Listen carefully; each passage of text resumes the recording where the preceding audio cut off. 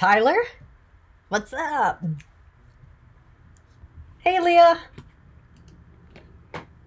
I want to play a game spoken in creepy Saw guy voice. I never saw a Saw. Really? No. Are you kidding me? Does that look like something I would watch? I would I would play that game we were playing with you. What game? Hey, that's pretty cool actually. There's this little thing that traps a spider so you can let it go and keep it away from you. BM fan. Can I think people- I was just looking at your message. Can people hear us?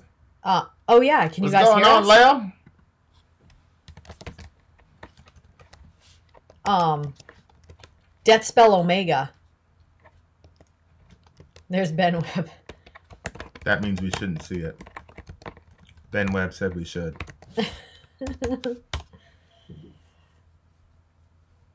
Yeah, it was like The Walking Dead. I think that's what it was, The Walking Dead. But it was we, when we went to play the games with the kids, and yeah, they said this. It sounds good. And I was like, oh, let's go play that game. And like, but he was scary, scary for me. And Vin kept saying, shoot that guy, shoot that guy. And you had to shoot these arrows into their heads. Actually, you know what I did like when they would turn either blue or green, depending on which one of us got it. Because every Oh. time, every Oh, time yeah. it got a blue, I was like, that's right. Yeah, we gotta um, we gotta we gotta buy that game. Really? Yeah, why not? Oh my gosh. Can we get a two player game? Was I in that? shorts today when I was playing against uh Yep, Dorian? unfortunately. Oh. it's a rather personal picture, but okay. okay.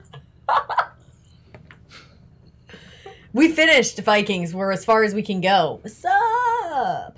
D Miller six six one. Somebody call me up if you have an issue with Jordan Peterson. But I, I need to know. I need like exact references, though. Don't say I don't like him because he's whatever. Dan, what the heck? Dan's like, I don't like Jordan Peterson because he's Canadian. Canadian. I have lots of problems with Peterson. That's a long discussion. Jordan Peterson was like, I couldn't believe that anybody didn't like him. I was like, what? We're on Do Not Disturb on Skype. Oh, crap.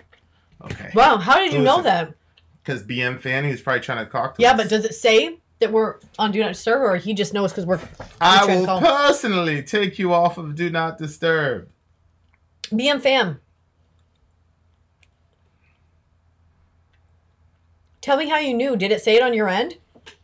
All right, we have our first contestant. Hello? Hello? What's up?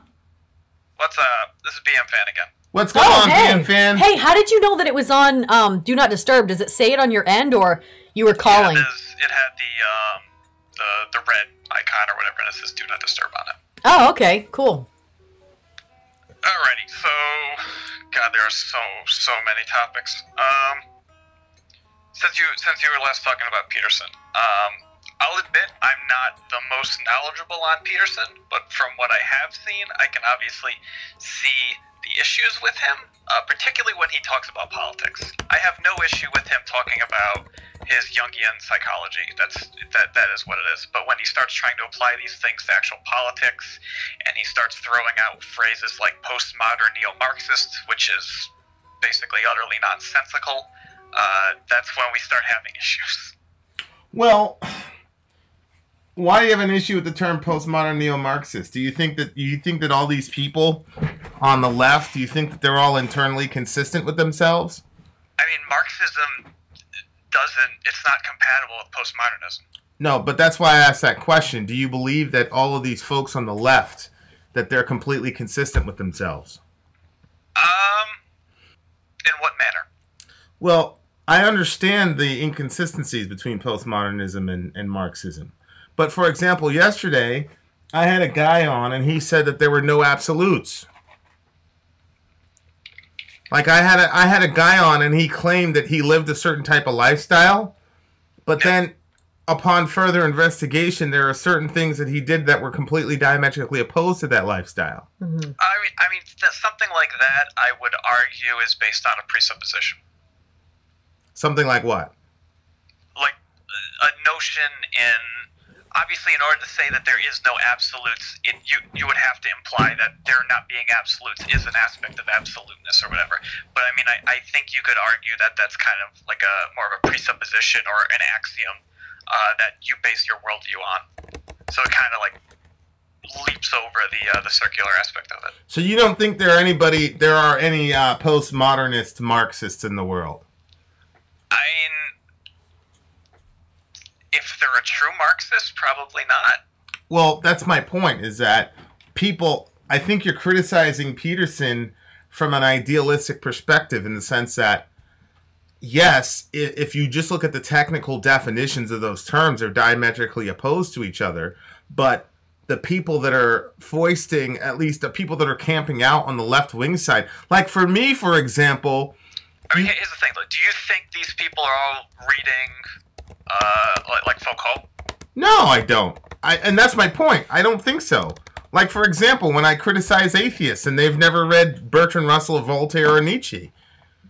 I had an atheist tell me yesterday that Voltaire and Nietzsche have nothing whatsoever to do with atheism on any level. I mean, to a how can I put this? To me, at least, with regards to something like atheism, atheism is just outright not believing in something. It's, I mean, not believing in, in God. I, I- can understand how you can say, well, you should understand the early atheists and whatnot, and understand their worldview a little more and whatnot. But I think any anyone can really just say that I'm an agnostic atheist or something like that without having, That's you know, read those uh, thinkers. that's fine, BM. But this person told me that Voltaire and Russell and Nietzsche do not speak to atheism on any level. That's what they told me yesterday. So, I mean, I think you're assuming that people that hold positions hold to them as rigorously as you do. And I don't think that that's the case at all. So when Peterson says postmodern Marxist, yeah, it's inconsistent, but isn't that Peterson basically like low key dissing people that hold to that position because they don't even realize how inherently contradictory their their worldview is? Um, I, mean, I guess you could argue that. I think the other issue, though, is that it it it sounds very much like a conspiracy theory. How so? The Marxist Um, part? I, I I assume you're familiar with uh, cultural Bolshevism. yes. Okay. And, and the cultural Marxism of the of uh, the popular scare buzzword of the right today, um, which kind of just echoes back to Peterson's postmodern neo-Marxists. Yeah. Um, which I mean, I'm not saying Peterson is like anti-Semitic or anything, but obviously that's kind of the root word of all of that kind of notion. I'm not saying his postmodern neo-Marxism is cultural Marxism, but it's really, really kind of similar sounding. Okay, I'll, I'll give you that. I agree with that. I think you're right on that. I think he's careless when he uses that terminology. I don't think he's anti-Semitic. I do think he's careless. though. Um, although it did take him a long time to actually come out about that. Yeah. uh, like there are videos of like his his supporters kind of basically trying to get him to talk about the Jewish question, and he's just like, yeah, I just can't, I just can't talk about it. Yeah. Okay. Okay. Um, So, so, so that's your problem with Peterson. um, well, also comparing um, humans to lobsters. That's that's kind of another aspect to it. Well, like see, you can't look at hierarchies in lobsters and compare it to humans. but it, what was the point he was trying to make about the lobsters? Oh God, I don't even remember. Well, see, this is this is the thing that gets me about people that criticize Peterson. It's like, oh, you can't. I mean, it's a it's an analogy. It's not a one to one correlation. He's just like. Do, let me ask you a question. Do you believe that that human beings can function without hierarchy? um, Yeah. Okay, give me an example of when that's happened in, in human history. Um, I mean, like you, we've had, uh, like, like I mentioned last time, like uh, anarchist Catalonia and stuff. Like we have had anarchist um, kind of societies. Where? As mentioned, anarchist Catalonia. How long? Um, how long? Another example would be. Hold on, no, no, no, no, no. Hold on. Stay, stay with me. Yep. Anarchist Catalonia. Where where is that? Uh, that was in Catalonia, which is not Spain. Just Catalonia is Catalonia during the Spanish Civil War. Okay, how long did that last? Uh, two years before the fascists and the Republicans uh, smashed them. Okay, and why did they smash him? Because the Catalonians were obviously breaking apart from the Republicans in Spain, and obviously the fascists also did not like them. So they basically had to fight off like multiple different fronts, and they, they couldn't survive it. How were they able to fight? Did they organize a military? Uh, yeah. Are you saying that they had a military that had no hierarchy? Everybody was just out on the battlefield doing their own thing. Um, it's actually a good question. I'm not entirely sure how their military was set up. I would bet you my firstborn that they had some sort of hierarchy. It's impossible to fight otherwise. Believe me, I know. Because. Uh, Tyler, uh, Catalonia was anarcho-syndicalist. yeah, but but I mean, look, you, you you just said that they had to go fight, and if they had to fight, that means that there was a military, and that that means that they were that there had to be some sort of structure to it. Obviously, like, uh, I mean, there's some degree of it, but the reality is that the the hierarchies don't necessarily have to be in in such an a uh, what's the word a negative way, I guess, that we kind of view them today. Well, I don't view hierarchy as negative. I view it as natural. I don't. I don't. I don't view hierarchy as a negative thing. Okay, I would disagree with that. I don't think it is natural. Well, then how comes human civilization always defaults to it if it's not natural? Um, I mean, you, you, you presented one hierarchy, one hierarchy-less society, which I'm very skeptical of, and they disintegrated after two years. well, I mean, they disintegrated specifically because of aggression from opposing forces. My brother, there will always be aggression from opposing forces in the world. That's why every nation in the world has a military. Right? Uh, yeah. Okay, and that's one of the reasons that hierarchy is necessary because of human aggression. I mean, that that's irrelevant from hierarchy, though. What do you mean it's irrelevant from hierarchy? So, like, yeah, they had a military, uh, except they basically had the entire, you know, world against them. They didn't have the entire world against them. It was just I a, mean, I'm saying they had the entire world. They basically had everything surrounding them was against them. yeah, and they They couldn't had the organize. actual, um, the actual Republicans. They had the fascists, and they also had the, um, what is it? The uh, the Stalinists. Yeah, and they couldn't organize to defend themselves, could they? No, they weren't defending. They were defending very, very well. Okay, so you're saying that they organ they organized the military and there was no hierarchy in the military. I mean, I don't have an actual source on their military, but Like- their like- society itself was not hierarchical. Take a guess. Do you think they had a hierarchy less military? I mean, do you want me to like Google this? No, I want you to I just want you to tell me from from your just guess. You think they're out there on the front line just doing whatever they wanted to do? There was I no mean- there's nobody training them, commanding them, telling them where to go, what was the best strategy and all that? There, I mean, that may have been happening, but I don't necessarily think that person was viewed particularly, um, you know, specially. Okay, so explaining. Okay, so this this is interesting to me. You're saying hierarchy is unnatural.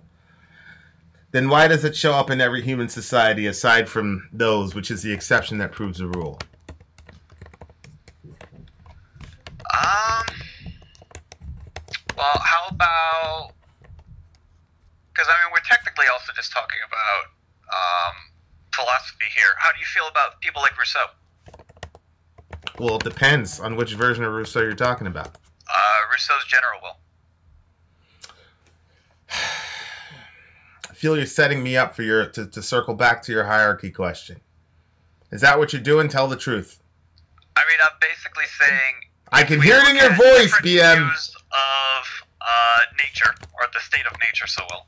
Uh, you can have individuals like Rousseau who viewed the state of nature as being a very, you know, good, kind location. Um, wherein you could have uh, total democracy and non-hierarchical general will that would kind of determine the, the the shape of society, or you have people like Hobbes or whatever who view the state of nature as nasty, brutish, and short. Well, well, let's stay let's stay with Rousseau for a second. Um here's the thing that gets me about philosophers sometimes. Sometimes I feel like they're so stuck in their ivory tower that it doesn't take into account actual human nature. Like, are you more Rousseau than Hobbes in your Uh, assumptions about human nature? it, it honestly it depends on kind of the day. Sometimes I'm like, you know what, Hobbes is right. Humans are shit, uh, and then other times I'm like, no, we can we can do better. Um, it, it really depends. Okay. So so then you're so you're actually saying that you believe that not having hierarchy is the most natural state of, of human existence. So like if I, I've got three kids, we should all have equal say about what goes down in the house. Four kids. Father of the year, ladies and gentlemen. We should all have equal say about what goes on in the house. um, well, with regards to like a family, uh, that's a good question because I'd have to actually think about it from um, from like if I if I was like a parent, how I would actually raise my kids. Well, I guarantee you, my brother, you would you you would be initiating that hierarchy with the quickness, because you know what's going to happen. Little Susie, as cute as she is, when she goes into Walmart, she's going to take that chocolate bar, and you got to tell her that she can't steal shit, right? Yeah. You got to impose your will on her, don't you? And who are you to do that? I mean, Let's just be real. I want I want a philosophy that works in terra firma, BM. You're a much more intelligent man than me, but just work with me. trust me, I'm not. I am not very intelligent. Well then, Um, then I'm out of luck then, because you're you're much you're you're light years ahead of me. But I'm serious. You're gonna let her go into Walmart and take whatever she wants? I mean, obviously no. Um. Okay, let me let me rephrase this. I think that humans, if not that hierarchy is non-natural, then I think we should at least strive towards non-hierarchy. See, this is this is okay. So here here's the thing for me is that my presupposition is that the family is a building block for a given society. It's been that way for the majority of human history. The societies are simply collections of families. Okay. Okay, well, if that's the case, and hierarchy is absolutely obvious and natural in a family unit, I mean, like, that's. I'm still not gonna say hierarchy is natural. well, I'm talking about in the real world. You just said that you would impose your value system on your child. Sure. Okay, that's a form of hierarchy, isn't it? Um. If Susie says, Why should I listen to you, Dad? You're going to say, What? Because I I'm your father, which is inherently a hierarchical and unfortunately for you, patriarchal uh, answer, isn't it? Sure. Okay. Let me, let me be more provocative. If you didn't impose your value system on your little child, you would be a bad parent, wouldn't you? Uh. Yeah, I suppose. Well, when we say so and so spoils their children, what are we saying? Yeah, in that case, it would be something like that. Yeah, Oh. I, I can see it there. Okay, so now watch the syllogism. The family is the building block of society. Families Yeah. are inherently hierarchical if they're good families. They, therefore, hierarchy is the most natural state of a given society.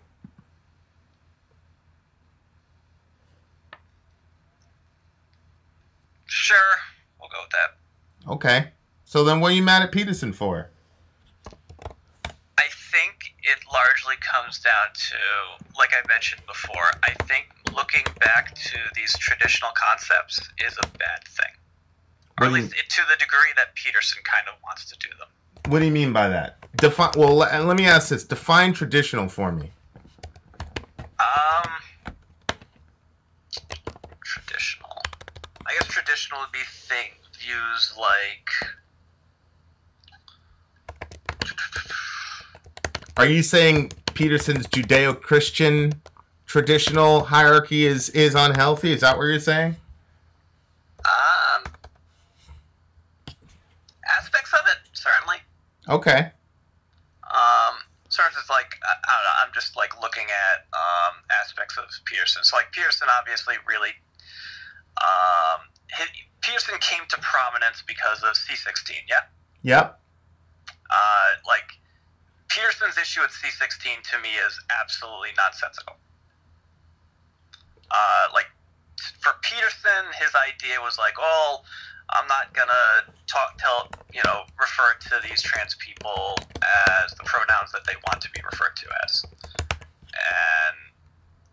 and that just seems That wasn't rude, rude to me. that wasn't his argument at all. And what was his argument? Because he's explicitly stated that he has trans students and he refers to them by their preferred pronouns. Okay. what he was bothered by, and some of this has to do with his his obsession with Solzhenitsyn, and and and everything that went down in the USSR and, and Nietzsche to some degree. What he was bothered by was when the government starts compelling speech that it would it would lead to a 90, 1984 type society and that's what he was With regards to that, how do you feel about protected classes? well Do you think protected classes are a bad thing or a good thing? it depends on how it's worked out in a given society Well, you know, all that this bill would do would put gender identity as a protected class in No. Canada. No, it was compelling speech. That's not no, the same thing. It was it, classified it as a protected class. Therefore, by insulting this protected class in a harassing manner, then obviously the government would be able to do something because at that point you were, you know, going, um, you were attacking the, the class. No, because what they're saying is if you don't refer to this person by their preferred gender, that's a form of, of positive attack. Which is which is okay, which is tantamount to the government compelling speech. So for me as a black person in America, there is nothing that you're supposed to call me. Like I can't put you in jail for calling me black instead of an African American. I mean, subhanallah, I've got people up in Maine who are still saying that I'm colored, but they can't go to jail for it, and they shouldn't. The government can't compel people to call me an African American. That's the problem. And when the government starts, when the government has the power to compel speech, that's an overreach because then it opens the door for the government to to do a whole bunch of shit. And in Peterson's mind, um, the only way to ascertain the truth is to speak it out loud and then have it tested by your given society. And so when the government starts dealing with out loud speech and telling you that you have to use a certain type of speech, it's a form of mind control. And that's what Peterson's against. You don't see that as valid at all? You think the government should be able to compel people's speech? The bill is intended to protect individuals from discrimination within the sphere of federal jurisdiction and from being the targets of hate propaganda. Okay, who defines what hate propaganda is? Uh, the government in this case, I suppose. Okay, so if the government determines that misgendering a person is hate propaganda, that's that's how is that different from compelling speech? Uh, hang on, I'm just reading some here. Evidence that an offense was motivated by bias, prejudice, or hate based on a person's gender identity or expression constitutes an aggravated circumstance for a court to consider. Who determines that? You know the irony in all of The this? government. You know the irony in all this? On the one hand, you were just arguing against hierarchy and the abuse of hierarchy, but then on the other hand, you're completely comfortable with the government telling people what they can and can't say, and the government defining what hate is and what it isn't.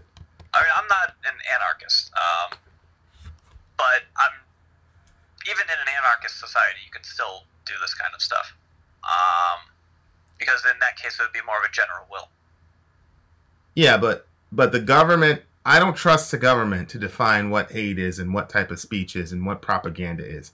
I, I would rather the people of a given culture being able to figure that out collectively as a consensus. That's not the job of the government to do that. That, that- we've we've seen in history when the government starts getting their hands in what people can and can't say. That's the first step to absolute tyranny. Well, I mean, we, we kind of already deal in that, don't we? What do you mean? Um, let me think. Oh, wait, no, I'm, I'm thinking more of. Uh, Hold on for a second. action. Lilo, Lilo, he read the bill to me. what are you talking about? He you you were just reading it, right? Yeah. Okay. The summary. So it's been it's it's it's read. It's been read. So so we don't need to go there, Lilo. What I'm saying is it's not the government's role to de- to define what hate propaganda is and what hate speech is and then tell me what I have to say to a given person.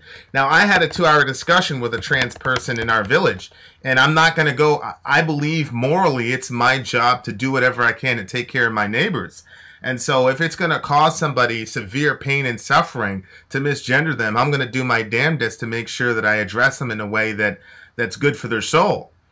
But it's not for the government to tell me to do that. Mhm. That's the issue. Is- I would disagree with that at least. Well, so as a black person, so as a black person, how would you address me? Um, I, as a, a black person, I guess. Oh shit, man, you're supposed to call me an African American. You're going to have some like you want to go there? I mean, You want to go there? that's really different What do you mean it's really different? because not every black person is an African American. So, you're you're you're you're obscuring the point. What I'm saying is, I've I'm come from a, a minority group that has suffered way more than the trans community has in the United States of America, right? Sure. Okay, so then should I legislate how all black people in the country should be identified? And then, on pain of losing your job or a heavy fine or even possibly jail time because it's quote unquote hateful. Like, do you actually want to go there? And why does it stop at trans people and black people? Why not white people? Why can't white people have those protections? Um, well, I mean, technically, white people do have those protections. What? What are the hate speech laws that protect white people? Well, no, ra- race is a protected class. Period. Okay, but but I'm talking about I'm talking about a law analogous to this that will land you in jail for fucking with a white person. I like. It's it's there.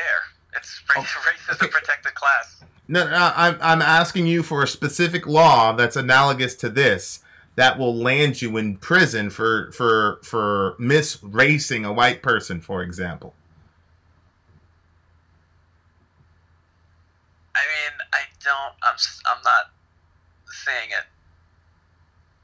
Well, you're not seeing it because it doesn't exist. It's inconsistent. That's what I'm saying. BM. No, like I'm I'm trying to like connect the dots that you're you're doing, and it, it seems like I I just seems reductio ad absurdum. Yes, it is reductio ad absurdum. That's my point. That's the whole point of reductio ad absurdum, is to show how absurd the other position is. You look, I, I think you know I've talked to trans people. I think they're big enough to be able to handle the random jerk that will that will purposely do dumb shit to them. For example, okay, so let's expand this. I had a vegetarian on the line, right? And and all these people started making all these meat eating jokes. Well, that person interprets that action as hateful. Mhm. They do. And the law, the law, wasn't the law, eh, correct me if I'm wrong, BM, wasn't the law that you just read leaving it up to the government to determine the motive of the person? Um, I believe so. Yeah. Read it again. Uh,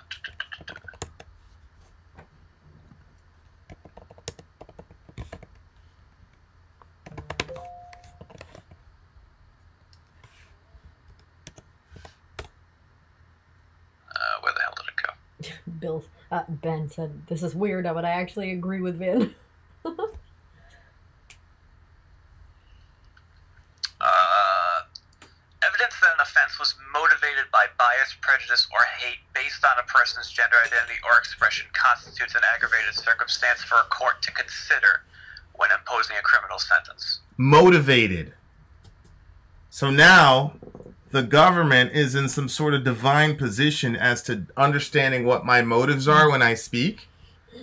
like you don't see the problem there? I mean, it's it, this would be an, in a in a court, although, so like you would still be tried by by uh, your peers. What the hell does that have to do with anything? They're gonna define what my motives were. So what if I say no? My motives weren't hateful at all. Well, I mean, Who are they to tell me what my motives were? I, I mean that's just an aspect of our of our judicial system now. Hey, look. You could say like I didn't actually kill some. What, what like what's what's the difference between manslaughter and murder? Isn't it motive? Well, if you can if you can establish a mens rea, that's not the same thing as a motive uh, behind a person's speech. Because if if I if I can show that I hired a hitman, that that that clearly demonstrates beyond a shadow of a doubt what my intent was. But that's not the same thing as misgendering a person.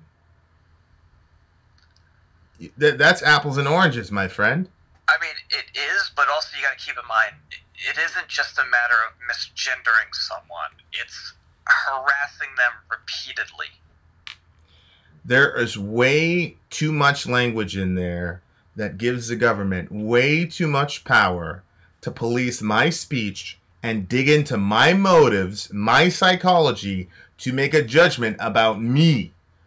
And initially, I thought Peterson was overreaching a little bit, to be honest with you. But now that I actually hear the language, I'm surprised that he's the only one that went off on this thing. Because this is madness. This is statism. Are you a statist? I mean, Okay, now it all makes sense. Possibly, yeah, sure. Yeah. Okay. Now, so why the hell are you upset about Peterson being a hier- hierarchicalist, but you're a statist at the same time? Don't you see the contradiction there? I mean, okay, let's let's look at things from this perspective. Obviously, I think if society could move towards non-hierarchical things, that would be great. Is it going to happen? Probably not. Um, so I would favor uh, gradual moves towards uh, other things. Which just means that you're a statist because you don't trust the general populace. I mean, isn't that what you just said? Um, no, I think it's more that people aren't. They can't. They're not. They're not ready for it, so to speak. Like we can't just dismantle this society and become anarcho-communists. That's that's not going to happen. Bless Ever. God. That's, that's gonna. That's even less likely than the ANCAPs instituting anarcho-capitalism. Like that's it's, it's just absurdity. Look, if you you start controlling speech, you're controlling um you're controlling minds. Somebody said that in the chat. That's that's not my that's not mine. That's somebody else. But if, if you control if you if you control speech, you're controlling minds because speech is simply the outgrowth of what happens in a mind.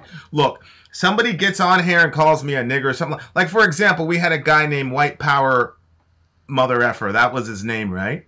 Uh, that was a thing. Yeah, that was his name, White Power. Like, so what am I supposed to do? Am I supposed to like like completely ban the guy from my channel? You know what I did? I brought him up here and I let him spew his his bullshit, right? Because I I'm fully convinced that if somebody has a bad thought process, what we want them to do is express it as loud as they possibly can so that everybody can see that it's a bad thought process. I'm not going to go and censor the guy.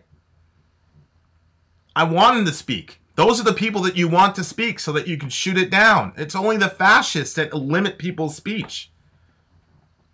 It's like Hitler. He wouldn't he he wouldn't countenance any disagreement with him. Now that conversation with that kid turned into a it, it went in a different completely different direction, right? I don't know if you were there when we had that conversation.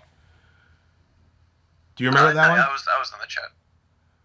Yeah, I mean, I mean, you don't see any danger at all to this. You don't. You don't see this type of legislation going completely wrong. I personally no. I, I just don't. Okay. I mean, have you read much on the USSR? Um, I honestly, to to imply that this will result of the USSR or Stalinism, just I I, I just no. Okay. I mean, look. Do you think I think we're much more likely to go into Nazi Germany with, with someone like Trump right now that's than, ridiculous? than we are going to the USSR. Nazi Germany. Yeah, look, look, they're they are taking Trump's anybody that's aligned with Trump. Do you see what happens to kids that are wearing MAGA hats in restaurants? Mhm. Uh, yeah, they're getting kicked out. Yeah, they get kicked out. They get yelled and screamed on. You have you have people in our in our government that are getting booted out of restaurants. But do you understand why that's happening? Hold on for a second. The analogy between that and Nazi Germany is absolutely ridiculous.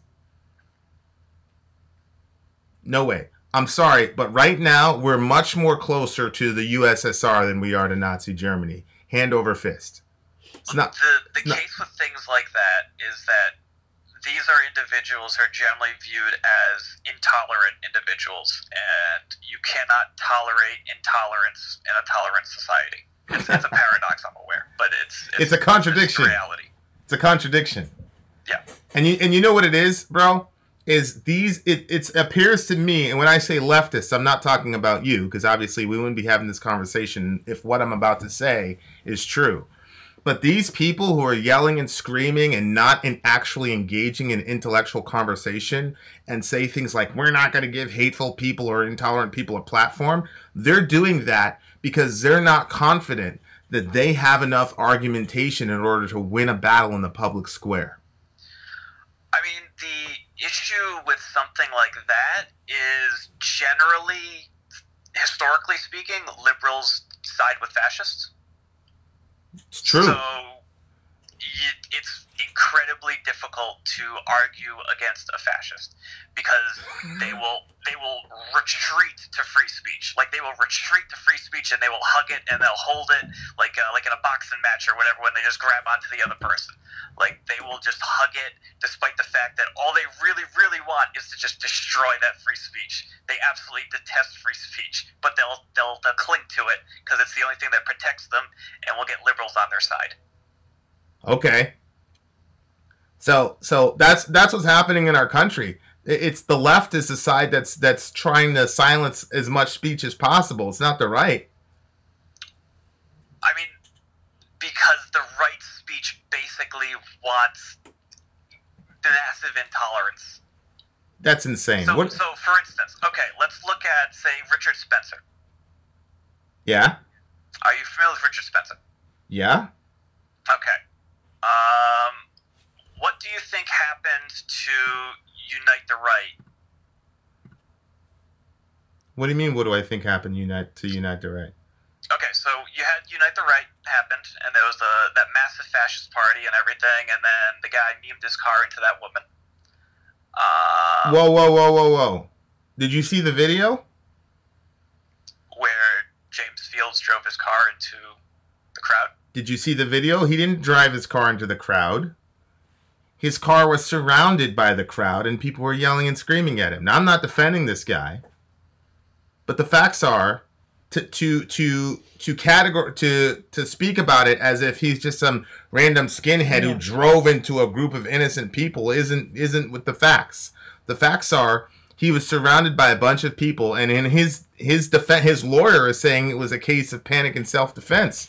Now, I, I'm not saying I can't judge what's going on there because we're not in the case, but don't act like it was just some regular regular dude who just ran into a bunch of people on purpose. That's not what happened. Um, I guess we'll see what happens with the case in that case. Um, but either way, Well, there's So, video. Watch the if you see Watch the the video. video. Watch the video, my guy. we'll see what the case has to say, I guess. Okay. But either way, so after all of that happened, um, and Antifa started doing a lot more of their activities, um, we now have a year later, they had Unite the Right 2. And did you see how many people attended Unite the Right 2? I'm sure it was much smaller. Uh, there was about 28, I think. Okay. Um, the large reason for far less of them showing up was because they did not want to be associated. They did not want to lose their job by coming out. They did not want to be doxxed. They did not want all these things to happen to them. Yeah. Because groups like Antifa have significantly raised the social cost of being a Nazi. Whoa, whoa, whoa, whoa, whoa. Groups like Ant. I cannot believe that you're you're acting like that's a good thing. Like Antifa is a force for good in a, in the United States of America. One hundred percent. Are you?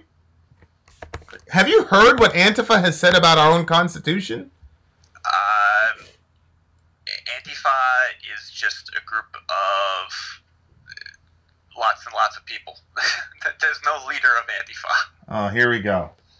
Look, the I mean, maybe if, if you want to source me like some uh, Antifa Twitter or something that's probably run by like Russians or something, I mean, you could do that. okay, so this is this is more Trumpism. So anything that you don't want to hear is fake news.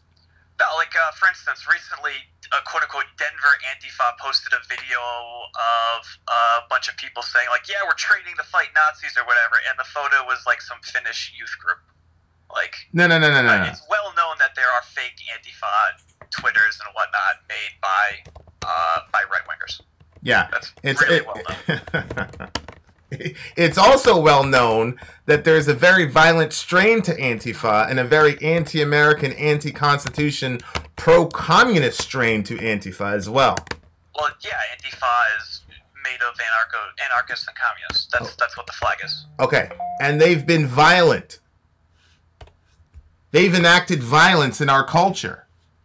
Are you I mean, okay? They enact violence against fascists. That that's what they do. Okay, so they get so who determines objectively speaking who the fascists are that Antifa gets to physically assault? Uh, the people supporting the fascists. The people acting like fascists. So then if I say if I say so then if a person says anybody who's against Donald Trump is a fascist and we now have green light to go and physically assault them, that's okay. Uh, you're you're not understanding. No. No no no no. These no. kind of questions aren't um, that simple. No. What you're what you're trying to say Just because I say X is a fascist doesn't mean that X is a fascist. So what you're saying is you don't believe that people have the right to free speech without the threat of violence if it qualifies as quote unquote fascist in your mind. Is that what you're saying? Say that one more time. People don't have the right to free speech without the threat of violence if it qualifies as quote unquote fascistic in your mind. Is that what you're saying? If the person is preaching anti-Semitism and is screaming things like, um, uh, what was one line that one of the guys screamed? He said the uh, the first precept of the true alt right is gas the kikes, race war now. Uh, if someone's saying things like that, like that's that's a fascist. So then you you instead of saying let's defeat them in the public square with our words, you're saying they have the right to physically assault them is what you're saying. As I told you, you generally can't really beat fascists in the public square because liberals will side with them. So because you can't beat them, we should beat them. Like how badly should we kill them? Uh, you basically beat them until they cannot. uh, You, as I mentioned, you raise the social cost. Yeah, but let's say the social cost is your life. Then instead of 28 people, you'll have two people. Is that better? I mean, generally speaking, Antifa tends to not kill people. Right wingers do the killing. No, no, no, no, no, no, no, no. Right wingers, right wingers, right now aren't going around in uh, hit squads and physically assaulting people. Do, do, do you want me to like That's anti- you the Southern Poverty Law Center's group of list of like hate crimes? Antifa is organized. You've got an organized group of people who are stalking people that they determine to be fascist. All I want to know is is it okay if Antifa kills people? If that will make it so that the next Unite the Right march has only two people. I mean, killing is probably a bad thing. Probably a bad thing. Are you hearing yourself right now? killing is generally a bad thing, sure. Wow. you are an absolute statist. listen, listen, bro. You, you're an absolute statist, and I don't. Have you ever been outside of the United States? Uh, yeah. I went to I visited London and France once. Okay, so you you've never you you've never been outside of a, a country that, that that's outside of uh, Western influence. Like you've never Uh, been to these. sure. You've never been into these post USSR European states, have you? No. So you don't you don't know what it's like. You know, all these Antifa. I'm not saying you're one of them, but there's all these kids in Antifa running around talking about uh, Chairman Mao and all this shit, who have no fucking clue what communism is really about. General, I, I, like I know some Antifa individuals. None of them are, are, are Maoists. Are you talking about like Jason Unruh? No, what I'm talking about That is really crazy guy. here's No what I'm likes talking him. about. It's a bunch of it's a bunch of kids who were born and raised in America, most of whom have no fucking clue about the world outside of their little bubble in America, who are self-righteously taking up the cause of violence because they don't have the intellectual rigor to be able to confront somebody in the public square and debate their topics accurately. And because they feel that they're more intelligent than the rest of the American community, they feel that they it's on them to go and physically assault other Americans, thereby stealing their right of free speech away from them because the rest of us are too dumb to be able to see that racism and, and, and fascism is a bad thing. That's Antifa. Those are the people you're supporting. I mean, if you really want to put it that way, sure. I mean, like I said, my general thought is anyone who's legit supporting um, fascist ideas generally deserves no platform. and you and you believe and you don't see that the threat of violence that you just justified against speech you don't see that as a form of fascism itself Absolutely not, because there's nothing racist about it. There's nothing nationalist about it. There's it's idealist you're an idealist and the ist meaning the discrimination side of it and here's the problem with with people like you. And when i mean people like you I, I i here's what i mean. You're the intellectual side of these people. But the facts are people like that in those movements you're the minority. And who gets to decide what the line is between which fascists you get to assault? Like who decides that? Um, I mean, it's generally. How can I put it this way? It's generally not really decided. It's kind of just if it's happening or not. Oh, yeah, but if it, somebody has to determine what it is, when you say what when it is happening, somebody has to know when it is. When is it it? When is fascism happening? When is somebody vocalizing hate speech where we need to attack them? And is there is there a canonical definition for that in people in that crew? There isn't, is there? So then I can be part of Antifa and just feel like a dude walking around with a MAGA hat as a fascist, even if he doesn't do anything, and I can physically assault him, and that's okay. I mean, I would say no. But there's no leader in Antifa. So who are you to tell me what to do? Right? So you would say no, and that's your opinion. You don't attack him, but I say yes. How it works, though. Huh? That's just not how it works, though. How do you know how it works? Is there some Antifa uh, uh, uh, guidebook that c- you can show us that tells what what people we can assault and which people we can't? I mean, generally, what Antifa does is, like I said, they just try to raise the social cost. Yeah, how is that different from what I just said? So, let's say, Do you believe that Trump represents fascism? uh, I think he has a lot of fascist supporters. Okay. Do you do you believe that "Make America Great Again" is a dog whistle to racist fascists? Uh, to some of them, yeah. Okay. So then so then there's no real epistemic warrant for you to say that if I wanted to attack or physically assault a person with a MAGA hat, I There- mean, there's the no- reality is that just because someone has the MAGA hat on doesn't necessarily mean that they, um, you know, quite understand what they're what they're dealing with. I suppose. Well, well, I need to raise the social costs for the people that do. So whether or not this person knows what they're doing, if it's on camera, then I'm fucking somebody up that's wearing the MAGA hat. I just raise the social cost, right? Um, I I see where you're going with it. It's just, it just, it just doesn't really happen. What do you? what I'm saying is, and you just admitted, there's no way for you, even from your own perspective, to say that I can't do that, is there?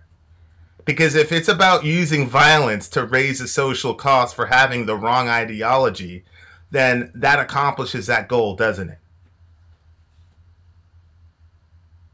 Right? Mean, yeah, yeah. Okay, okay.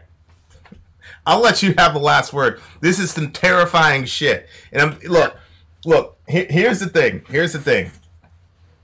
I I don't agree. I'm very very concerned with um, what's happening with the right wing of of America. And the reason I'm concerned is because of of of, of Antifa. Because you make people almost impossible to reason with when you start using violence. Because here's the thing these people on the right wing, they're all packing weapons. they all have guns. And there's nothing more dangerous than the human ego. You think that these kids, these little 16, 17 year old kids, are going to be able to physical assault? You you think like if they came to my hood and did some shit like that, they'd be able to get out of there alive? Um, I mean, These kids are going to mess with the. yes or no. You're going to I mess mean, with. it, it, depends. you're going to mess with the wrong redneck and they're going to blow you away on national TV. And then what's going to happen is people are going to start applying your principle in reverse and start raising the cost of hanging out with Antifa. And there's much more of them than there is of, of punk kids in Antifa, believe me. Because here's the thing you got a guy like me, right? Who obviously has a vested interest in, in, in minimizing racism in the United States of America. I sent my kid, I sent my 12 year old to go get pizza one time on his bike, and I was scared to death that he was going to have a run in with some police officer. Now, whether that's rational or irrational, my point is, I was scared until I got the text that he was back home safe. So, I have a much more vested interest in making sure that racism is out of our country than you do by spades, my man. Believe me, I've got a lot more to lose. But when you start talking about physically assaulting people, because they're vocalizing ideology or their ideas. You cross the line. That is crossing the line. That's completely anti American and completely a state. And so it's crazy to me that you were like mocking, oh, we're nowhere near the USSR. And then you talk about justifying violence against speech. And you don't see the correlation there at all? I mean, the argument here would be that these are individuals whose speech itself is, is capable of inciting violence. Yeah, there's inciting violence and there's actual violence. And you guys Well- are committing actual violence. But also inciting, if your speech incites violence, then that, that doesn't fall under free speech. Well, look, most of these people are saying that we need to care about white people and white people have been left behind and all the rest of it. You can Do you hardly. think Gas the Kikes race war now is, is insightful toward hateful speech? No, I don't. No, I, I think that that's hateful speech, but I think that if a person says that publicly, for example, you talked about doxing. I don't have a problem with that. If you're gonna if you're gonna walk around doing the Hitler thing, then we need to know who you are, and then let the let the community handle that person. That's what doxing is. It's like, oh shit, you're a Nazi. You're not gonna represent our company. Get the fuck out of here. Like that's how America's supposed to operate, not the government That is how Antifa also operates, though. Okay, that I don't care about. What I care about is you justifying people physically assaulting other human beings. That's my problem. That's not for you to do. That's fascism. I, I do not see that as being fascism. Okay. Well, you Like, need fa- you need to read it. itself is a thing. You need to read. You need to read about the USSR and you need to travel to post-communist countries, and you tell you describe to them what you're talking about, and see what they tell you. Have you read any Solzhenitsyn? I mean, you could argue that it's it's in a way authoritarian or whatever, but it's it's not fascism. Have you read any Solzhenitsyn? No. Okay, my friend, the fascists didn't start out sending people to the gulags immediately. That's not how it started.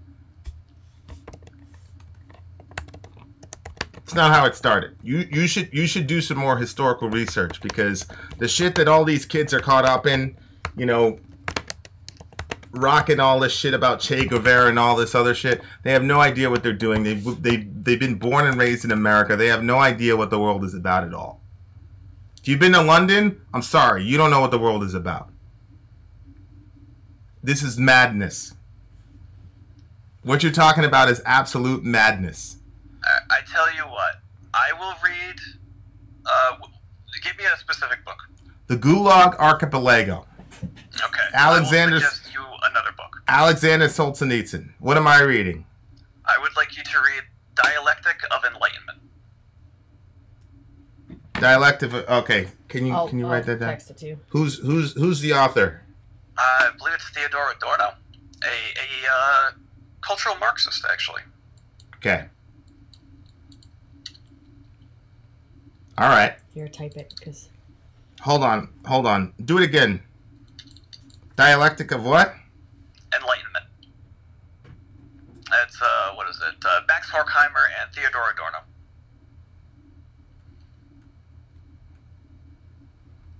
All right. I promise you, I'm I'm gonna go dig into that. Okay. All right, my man. I'll let you have the last word. I mean, like I said, to, to me, I think if we're looking at actual fascism and notions of, say, ethno states and, you know, all this kind of racial type stuff, I, I just don't see there being any platform for this kind of stuff. I mean, obviously, like, we can disagree on that. I just see no platform for, for this kind of stuff. And as you'll kind of see reading that, uh, liberalism basically supports will support fascism, and it's it's a big issue because like how essentially we're just doomed to a cycle, really.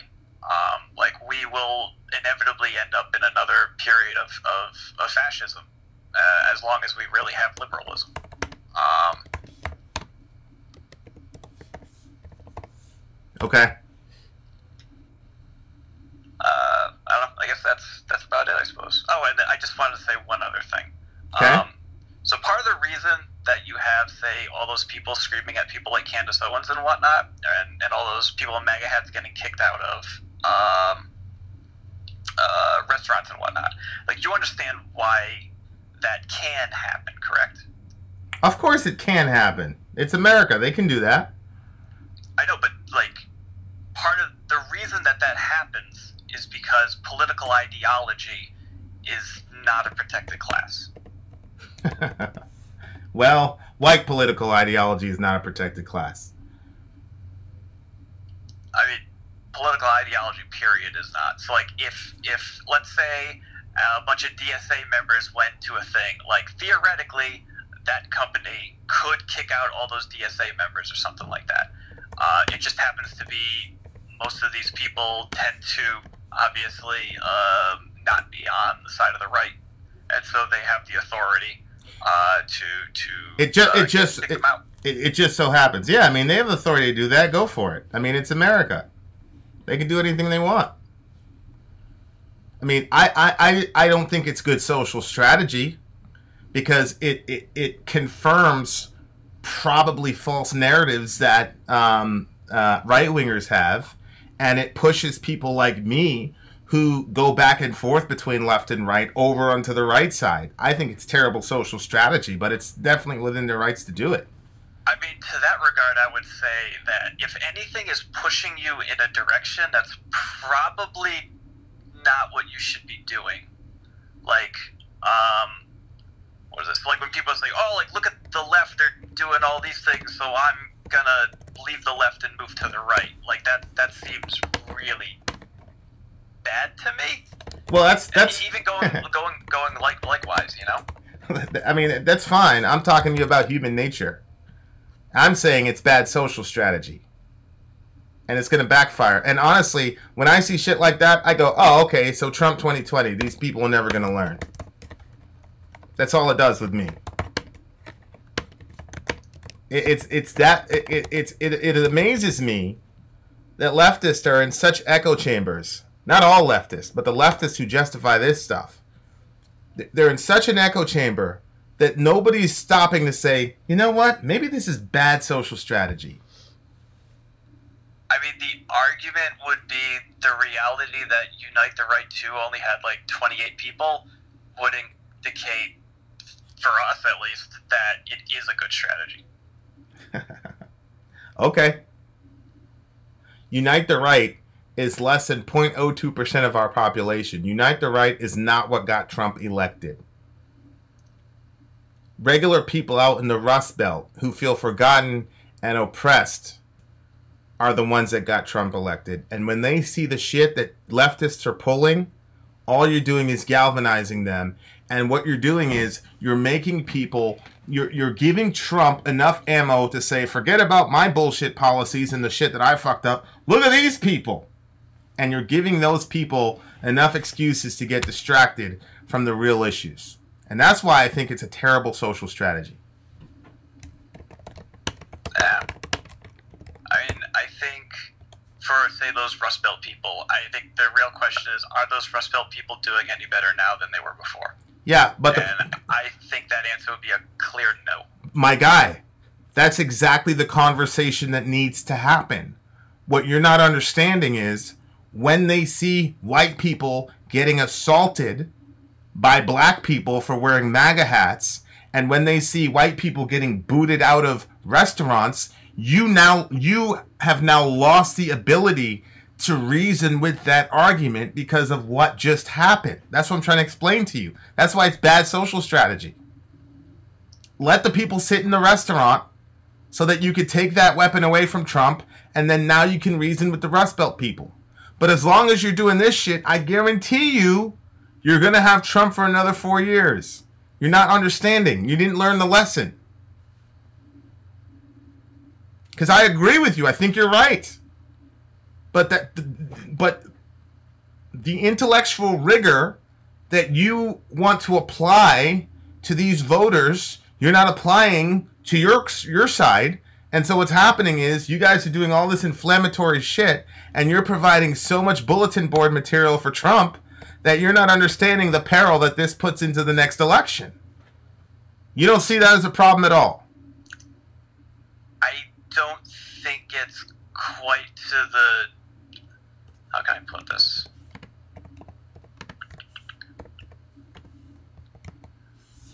I don't think it's quite um, as big a deal as you think it is.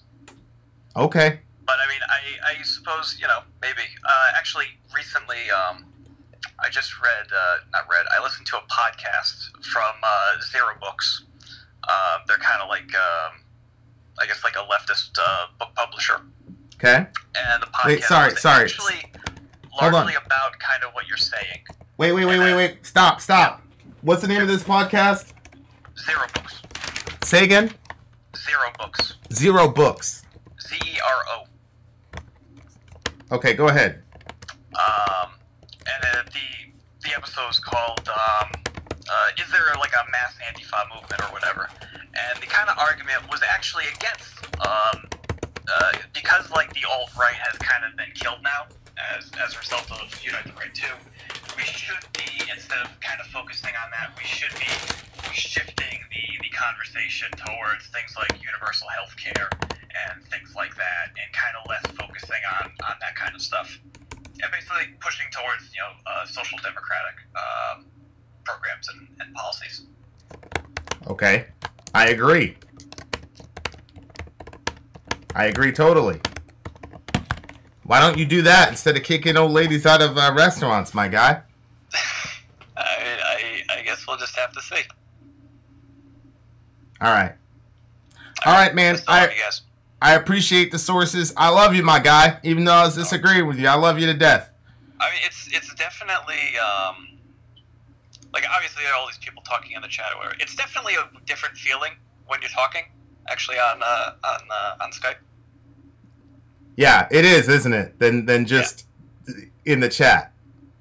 Um, also because like I'll, I'll admit most of most of these kind of topics and whatnot, it's it's so easy to say like watch this hour long YouTube video, like watch this other hour long YouTube video, uh, and actually having to to uh, discuss these things in, in greater detail is, is a lot more difficult because it's um, you know you bring up things that, that you you haven't really thought about or you things that you kind of just assumed to kind of just not be the case you know No, I, I hear you. Anybody who calls in, I have the utmost respect for him.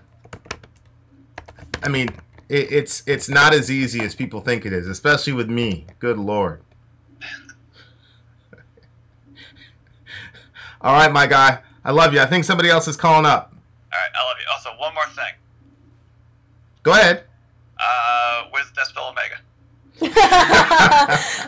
it's on my short list. What the fuck? We did Batushka? No, seriously. We did Alagok or whatever. Hey, bro, can you tell me how to pronounce that band properly?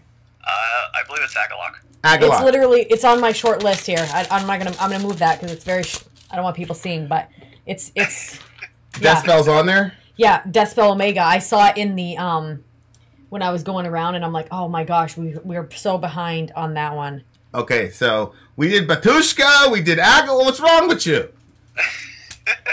So All right, yeah, it's on the way. yeah, I seriously want to do like a week of like underground shows of bands we haven't done. So I thought we were gonna keep that, not tell people. no, I that this was my idea, and I, I never had an idea of keeping that a secret from people. I wanted to tell them. I wanted to build the excitement. Sorry, when are you going to argue with someone on here? I don't know. all right i'm gonna get off now All right, All right, see my ya. guy, have a good, have a good one, buddy. i got my uh, got my ass kicked a bit but whatever All right, my guy, have a good one.